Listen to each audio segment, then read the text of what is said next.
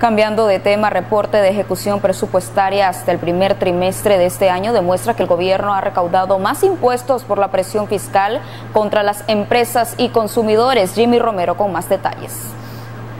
Entre los meses de enero a marzo, la Dirección General de Ingresos captó un total de 25.647.4 millones de córdobas, más con respecto a la cifra del mismo periodo del año pasado, reflejó el informe de ejecución presupuestaria dado a conocer por el Ministerio de Hacienda y Crédito Público. En términos reales, el fisco recibió 4.296 millones de córdobas más representando esa cifra, un crecimiento de 20.1% que a criterio de la Cámara de Comercio y Servicios de Nicaragua ha sido una medida errada de las autoridades gubernamentales porque obliga al sector privado a recortar personal y ajustar sus niveles de productividad. Porque al final también nosotros, como lo hemos dicho en varias de nuestras comunicaciones,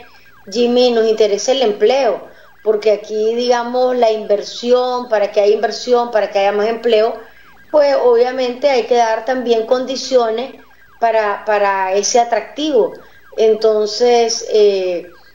lo que habría que ver es ver cómo se puede ampliar, eh, se puede ampliar a otros sectores que, que quizás no están dentro de la formalidad y que al final vienen siendo empresas que se han hecho grandes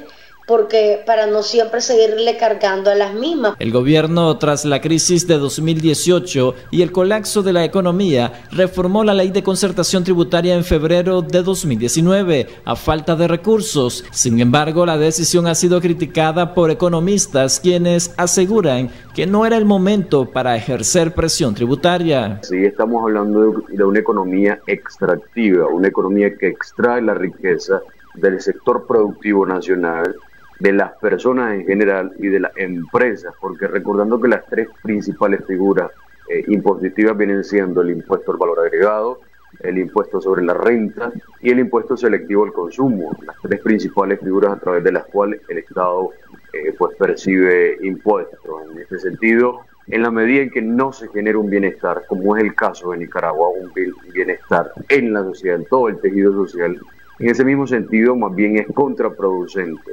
Según la Fundación Nicaragüense para el Desarrollo Económico y Social FUNIDES, el país ha perdido más de 230 mil empleos por la contracción en distintos sectores, lo que también se ha traducido en cierres de empresas definitivos y temporales. Jimmy Romero, Acción 10.